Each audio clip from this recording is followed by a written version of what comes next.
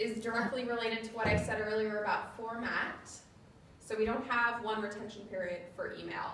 Um, it's going to be determined based on the content of what you're writing about. And that sounds really complicated initially.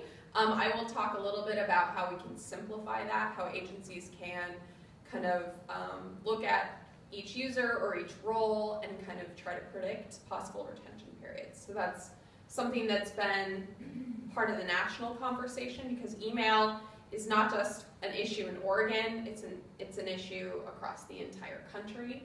Um, I recently. I've never heard that, Stephanie. I recently, even at the federal level sometimes. um, no, um, I recently read about a state, I won't say which one, that their state archives didn't have any email from any um, government entity, no governor's emails, nothing like that had ever been transferred to them. We aren't like that here. we have all the governor's emails from um, Kulongoski up until Kate Brown. Um, we've got, because that, that's kind of part of our role is taking, when, when someone, uh, when their administration is over, including the Secretary of State, all of their records come to us for preservation um, and to provide access. So that means that we're not saying, oh, we just want your boxes of paper. We're now getting huge data dumps. And part of the way that we're trying to stay in front of that is setting up all the governor's office users with an electronic records management system that ties directly to their email so they can file it themselves and organize it how they think it should be organized. And that will help us long term provide access to that instead of getting a thumb drive or a uh, external hard drive, which is what had happened with Kitzhaber, um, and then having our poor accessions archivist say, "What now?" you know, Three just million emails to sort. three million emails to sort. Um, so we, the more agencies that we can work with, um, and we've now got our front office, our new Secretary of State totally integrated, and and we're getting his email filed. And that doesn't just help us with the long-term preservation; it helps us with public records requests. So we can stay in front of that instead of getting the request and then scrambling. So it's selfish on our part, um, but we are lucky that they are very supportive of this project and kind of the goals of transparency. So that has been working out really well for us. So the problem with email, why it's on this presentation, um, is that as we're all sitting here, we're getting a ton of email, right? And it just keeps coming, especially um, with some of your director level um, or elected official level employees. Um, usually the IT department, and if you're a DAS supported agency, DAS would be this um, entity that is, is controlling deletion. So I know with any DAS supported agency, um, email is automatically being saved upon sending and receiving. And there's no end in sight for that. They don't have retention periods applied to your email at this point. And that's a conversation that we've been having with them with Alex Pettit um, to try to get something in place so that at least we can group things by employee role. So you aren't saving everything forever because that may not be a problem now because email hasn't been around for that long, um, but boy, in the future, that's just going to become completely unmanageable. Um, so yes. Oh, I was just going to say, so if you aren't a DAS supported agency or if you're a local government, um, talk to your IT department. Find out what their expectations are. I did an all staff training not too long ago where uh, they talked about it as I brought it up, and they realized that their IT department was expecting them to keep the record copy. They were only saving backups. So they were saving a backup tape for 30 days, 90 days, something like that, and they were expecting all the employees, and the employees didn't know that, and they figured that out during my training. So really have that conversation, find out what's being done, and if you are expected to be the record copy holder for your own email. Um, so obviously a lot of, oh yes. So if you're CC'd on an email, yeah, is that considered, that would not it, be considered a, a record? Most of the time, no. But if you are working on a project team and everyone on, the, on that project has decided Pat's going to be in charge, of maintaining the record copy for all the emails related to this project, then yes, um, you would be responsible. But that's part of one of my slides um, in a few slides here. So um, attached documents may be records as well, something to keep in mind. So something that we do internally here, because I've never known, um, I've been here for almost five years, I've never known an environment where we're supposed to put everything on the shared drive. The electronic records management system was in place for me when I started, so it's kind of a look into so the future. spoiled. I know. I look into the future, right? Um, so if Chris and I are collaborating on a document, I don't email him the document. I email him a link to the record copy of the document, um, so that we're actually editing in the electronic records management system, and then when it's time to destroy that, it's actually going to be destroyed. And our emails don't have any content; they don't have the document attached. Um, so that's one of the big benefits that I personally have seen because I don't have to wonder where that record copy is. I know that we're using that, that system that way. Um, so it's important to think about email as, you know, the content can actually be predicted. So if I have a position and I'm in, you know, maybe I work on budget stuff and most of my budget preparation stuff is like, what, four years or something, um, that can be predicted based on my role. I might have a few outliers, but we're not going to plan everything based on those few outliers. Um, if I am Mary Beth Herkert and my retention schedule is basically everything permanent because of my role and that's written on my special schedule, we can plan for how to retain that. We can put that into the system and have all of her email be filed in there and have a permanent retention on it. Um, let's say I am working in a department and my email has, could have like a six year, seven year, 10 year.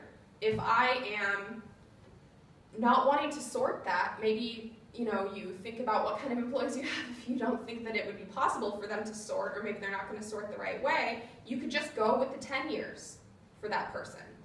Um, and that would be something that could be applied at the account level. And even bare minimum start doing it with departed employees you've got a bunch of old email accounts just sitting there um, you're going to have to keep providing access to them as time goes on so why not look at the longest possible retention for that type of employee in their role and apply that now. And then it will eventually go away. Um, even if it's just a note to yourself, you know, trash this person's email in five years, that sort of thing. Um, however you can manage it if you don't have an electronic records management system. Because the alternative is, you know, just exploding volume, like I said here. So fun fact while you're, while you're taking a drink, um, the largest gorilla, um, about six hundred pounds, now it's in captivity. Otherwise in the wild, it was five hundred and ten pounds. I had to Interesting. look that up because you're. Oh, I, I will have to go back to whomever first said that phrase in nineteen thirty or whatever, and call them out on it, and be like, hey, not real. That's funny. Um, I've been no. fact, I've been fact checked before, but never on the, uh, On the gorilla. if that's all there is, you know, it's, I'm, I'm It's doing Friday. well. Well, it's Yeah. just because email is worse. yeah. Yeah, right, we gotta talk about gorillas. That's funny. Um, so from what we've seen, the less people have to be involved in managing their own email, the more compliance there will be. So if you can work with your IT department to get something in place. Um, I, on the other side of things, I've also gone to a state agency and they said, what do you mean? We have a one-year retention on our email. and I'm like, no! Um, stop doing that today, please. Um, so it's not a good idea to, to have your IT department setting their own policies without consulting the retention schedule. Just um, something to keep in mind. And like I said before, email content can be predicted. I only have a certain scope in my duties, right? I'm, I don't have anything that's permanent personally that I create. Um, the longest possible retention would probably be retention schedule stuff, and that's you know 10 years after superseded. So um, these are things that we can predict based on someone's position. So what not to keep? Most of the time, um, FYIs, if I'm just sending something to Chris, hey, thought you should know about this, he can look at it and delete it. He doesn't need to retain that just because I sent it to him. But know how the people you work with do that. So I think we've all had the boss that likes to send us FYIs, and then you have the question, am I supposed to do something with this? Or you just it? So within reason, you have to know, you know, are you being asked to do something? Then it may be a different animal. But uh, yeah. Um, informational notices. Um, so CCs, most of the time when I'm CC'd on something, it's not something that I need to maintain, but that is up to you to look at that and, and think about that. And then if you're not sure, just keep it. Just Desk keep it. building announcements, heavy Da- Yeah. Um, elevator under construction, Exactly. like those. Um, breaking bouncer offline. so ads, listservs, if you subscribe to like state eclipse or something like that, once you've read that, just delete it. There's really no reason to keep that. Even if DAS is keeping everything and you're a DAS supported agency, why not clean up your inbox? Make it easier to navigate, easier to find things. Um, event announcements, you know, charitable fund drive, things like that. Um, the person who sent it is responsible for keeping it, not all, what, 30,000 state employees that receive it. Um, personal correspondence. So first of all, don't have it in there. don't do it. I'm not going to email Chris and say, "Hey, guess what my son did?" and go back and forth about all this personal stuff in a state email address. And I'm not saying I'm not going to say, you know, have a great weekend. Hope the weather's nice. You know, I can throw in pleasantries here and there, but I'm not going to use state email to throw in a bunch of my own personal stuff that I don't want to be discoverable. Because especially, you know, if your IT department's saving everything coming and going, you can't just delete that if it's not a public record. You're retaining it. Um, and alternatively, like I said before, don't use your private Gmail account in your role, in your function for the state. So I'm not going to send Chris a, an email from my Gmail account to his Gmail account saying, hey, can you help me with this presentation next week? Here are my ideas. I'm not going to do that. Um, the higher up you are in the agency, the more important that becomes. So one of the problems we had, you know, with Kitzhaber before, and we had talked to him about not using Gmail, we had talked to DAS, and it still happened. And, you know, you can tell people and just make sure that people know at least um, before they kind of open up all of their personal stuff to being discoverable and sifted through by lawyers, because then you're just going to be paying for that time as well. Um, so purge your deleted items folder. I know that sounds funny, but I, here in Secretary of State's office, we have email quotas. And I cannot tell you how many times people have called me over to their desk to help them because they can't get any more emails. I'm like, have you deleted, emptied your deleted folder? And what? Um, so that can really free up some space if you've got those quotas. So articles, reference materials, if I have some nerdy records management thing that I send to my staff, they can read it and delete it. Or not read it, I won't really know. But um, they definitely don't need to keep it around. It's just extra um, stuff to sift through. So this is just kind of something that we throw out there. How many emails do you have that just say meeting or tomorrow? If you can add more details to your subject lines, when you get those public records requests, it'll make your life easier to sift through and make sure people know that. Um, just help yourself out in the future. So most cases, internal emails back and forth, the sender is responsible for retaining. If it's an email from an outside source, just keep it as the recipient representing your agency. If you use Outlook, if you take one thing from this training, Mhm. it should be this. Go back to your desk and use the cleanup tool.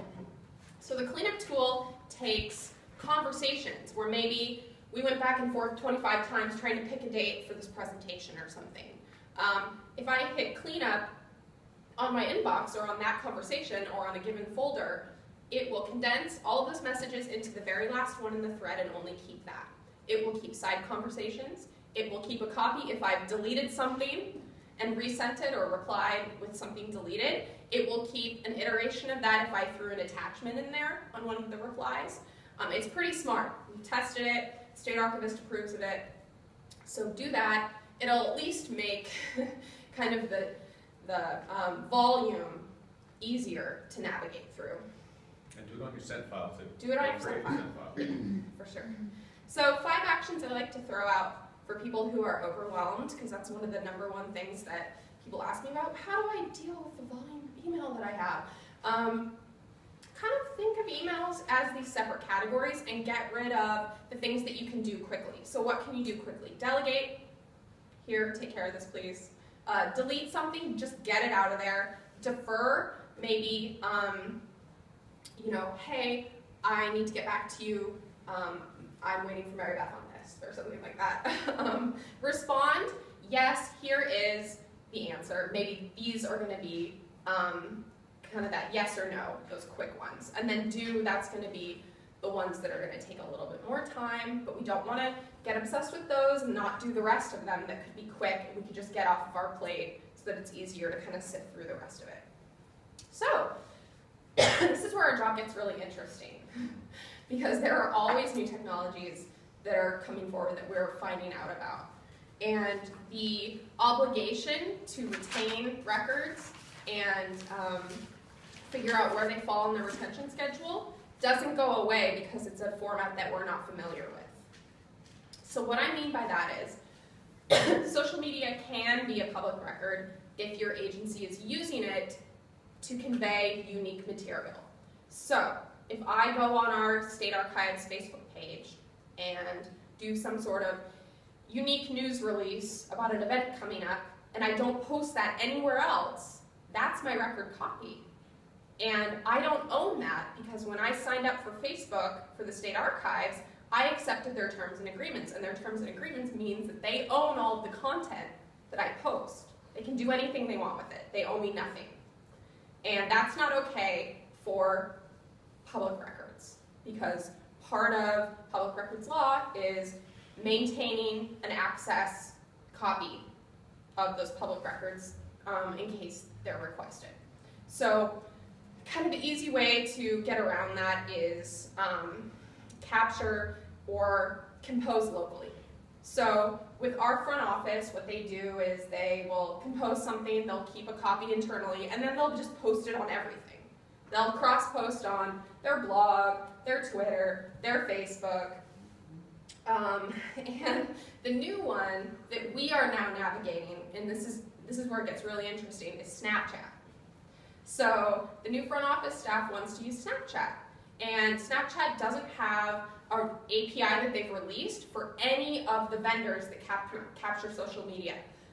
so Archive Social and Smarsh are kind of the two main vendors in Oregon that people use for capturing social media. They can't capture Snapchat because Snapchat won't release any mechanism to do that. Hmm. So we had to kind of rig our own in-house solution. And so the reference archivist, Austin, um, came up with a plan to, so if you subscribe to an institution Snapchat feed, it basically like, you'll load it and it'll run, it'll like play like a video sort of thing, like it'll do all the different um, posts in a row. So he is recording that with some sort of screen capture recording feature.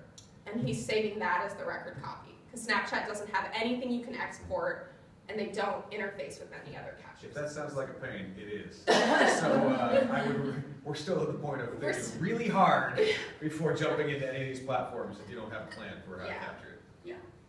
So quick question. Hmm? Um, is this you kind of like email? Um, reason why I asked that question um, is because email sent from an outside source um, is up to the recipient to keep that. Hmm? So let's say Yeah. that uh, on Great Facebook you post Yes. um, a meeting or event or whatever, and someone replies to that. Yes. To Absolutely. Yep.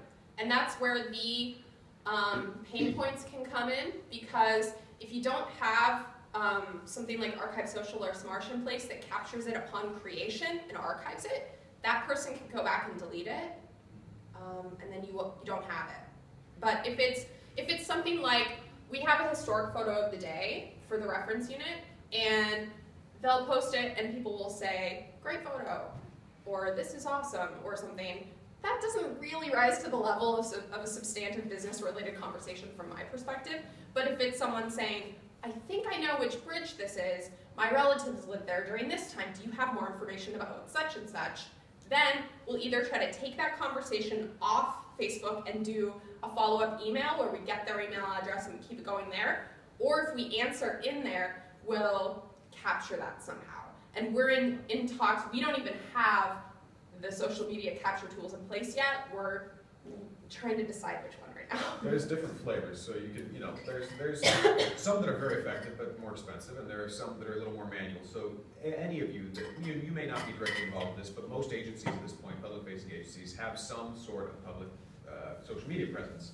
Often it's posting redundant things, stuff you would have put out press releases for, put on your bulletin board, hosting on your website.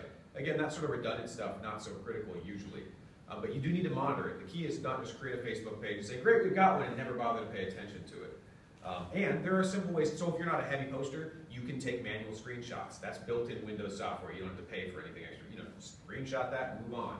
But you do have to pay attention to conversations. you are not required to allow comments. You can deactivate that feature. There's no requirement that you create, just like anything else, we don't require that you create any public record. It's just that once created, the burden is now on you to manage them. So uh, think very hard about how you're going to manage that and have policies in place about how you're going to manage it so that the roles and responsibilities are clearly delineated. Yes, so if you have a records management policy in place, have something in there about social media. So if it comes up, you don't say, oh darn, we should have had something written down. It's better to have it before something comes up. and things like Twitter, there are built-in kind of export features that you can play around with. So text messages, uh, this is another fun one. Um, who holds them? Probably not you. What does that mean? Um, so Verizon or AT&T don't have a copy of your text messages. So if your employees are using text messages to conduct substantive business-related conversations, you need to have a way of capturing that. What we've done here, the front office used to automatically CC their email address, their state email address, on any conversations related to anything work related. Now, it's not me saying, hey, Chris, I'm two minutes late. Can you cover for me? That doesn't really rise to the level. But um, if I, we just interviewed someone and I say, hey, I have a lot of thoughts about applicant two, um, here are some of my concerns, such and such, that's part of my role. That's my function here. I need to figure out a way to capture that if I'm going to use my phone for that. Um, if you have uh, state-issued devices, there are mechanisms that you can install programs um, uh, that will kind of do, be mobile device management. So maybe you have it in your policy that if people are using text messages as a way to perform their business function for your agency, they are required to use such and such app that is automatically being saved on your server. If not, they are required to forward that information to their state email address. Just having that written down um, and making sure people know what their expectations are will help you um, if there's ever an issue. Or maybe you say, and I've seen people do this, it is our policy that we do not use text messages to conduct public business. We don't allow that. And that's a decision that you're going to have to make. You're going to have to weigh that and communicate that to maybe the higher up people who have a need for that because they're just go, go, go. Maybe you do need to have something in place for that. And I can tell you that uh, uh, public records requesters, uh, lawyers are well aware that you have this content and they will ask for it. And if Yeah. you produce stuff where they know there should be some texts around it and you don't produce them, they will ask for them again. Um, I've seen a number of court cases around the country where this cropped up, um, whether through direct me, direct intent or sort of not thinking about it, people were using this to circumvent public records law, and the courts have been pretty unanimous with only a few exceptions across the country. And obviously, case law in another state doesn't directly apply here, but the precedent is fairly well set. Yeah, I actually saw this in an Oregonian article just a couple of weeks ago. The reporter said something like, through a request of all of Kate Brown's text messages, I've learned such and such. So this is on their radar. This is something that's been happening. And you don't want to have to go through manually sifting through somebody's phone to copy these things over after the fact. Yeah, that's what you want to have to try to avoid. Um, so, in conclusion, just because you're storing things doesn't mean you're managing them. We can help you. So, bring us in. Um, we will talk to people who may not understand this. Um, we can be that outside force if you need that internally. We can, I'll send you the PowerPoint if you're interested, and you can parse that out and use it for your own um, internal trainings. Look at what your records retention schedule is, if you haven't. Um, and if you see an issue with it, contact me, please. So have your own internal policies, know where they are, make sure that people know about them, make sure they're up to date. And if you're going to purchase a new system of any kind to store public records um, or create public records, include all of these parties. Everyone needs to be included um, when you're making those kinds of purchases because it affects everyone. It affects all departments. so, this is my contact information. This is Chris's, and then I threw in Noah's. He doesn't mind. Um, so if you have public records access questions, you can contact Noah at DOJ. So any other questions? I will stick around and people can hang back. Yes? What are your thoughts on a public agency using like a cloud-based